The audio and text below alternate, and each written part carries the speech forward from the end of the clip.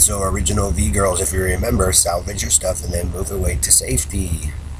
Because the uh, the fag murders that are added again, see, and we know who those people are because of how their behavior.